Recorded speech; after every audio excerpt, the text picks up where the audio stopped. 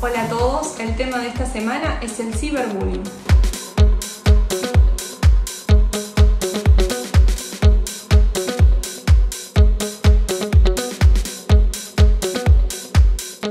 El ciberbullying es una conducta agresiva e intencional de parte de una persona o grupo hacia otros que se repite de manera frecuente en el tiempo y es a través de medios y dispositivos electrónicos.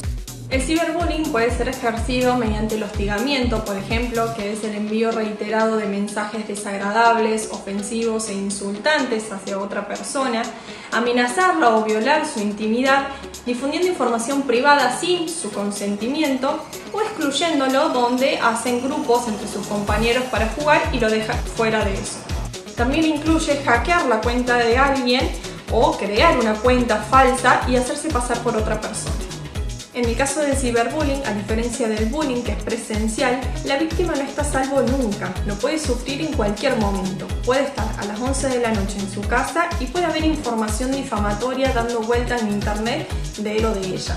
Por lo tanto, tiene más alcance y más continuidad. Las consecuencias de este ciberbullying pueden ser muchísimas. Entre una de ellas están la presencia del trastorno de ansiedad, síntomas depresivos, baja autoestima, eh, ideación suicida, problemas de conducta, bajo rendimiento escolar, entre otros. Lo que pueden hacer los padres para ayudar en este caso es primero educar a los hijos sobre el ciberbullying para que puedan reconocerlos rápidamente cuando esto ocurre, ya sea a ellos mismos o que sean testigos de que le está pasando a alguien más. Educar sobre el uso seguro de Internet como por ejemplo no usar la computadora o celulares de otras personas, en caso de que lo haga, borrar la contraseña cerrar sesión, no compartir mi contraseña con otros, en las redes sociales tener un perfil privado y no público, admitir solo a personas que conozco, no compartir información privada o personal que se puede usar en mi contra, entre otros cosas que quizás para nosotros los adultos son básicas, pero los niños que recién comienzan a usar las redes sociales quizás no lo saben. Y por último, enseñarles a comunicarse asertivamente, a trabajar cooperativamente con sus compañeros, a poner límites, a ser amables e integrar a otros. Ahora, ¿qué puedo hacer si soy víctima de ese ciberbullying? Lo primero es dejar de responder a ese acoso, porque si lo hacemos, lo único que logramos es agravar esa conducta.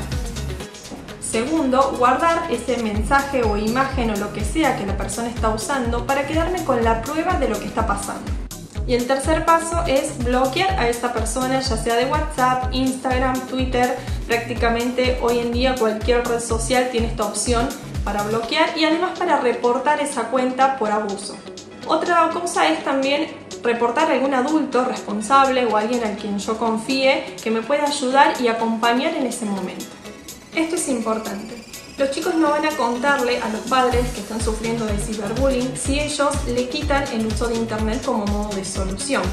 Lo único que estamos logrando con esto es castigar la conducta del niño de contarnos lo que le está pasando.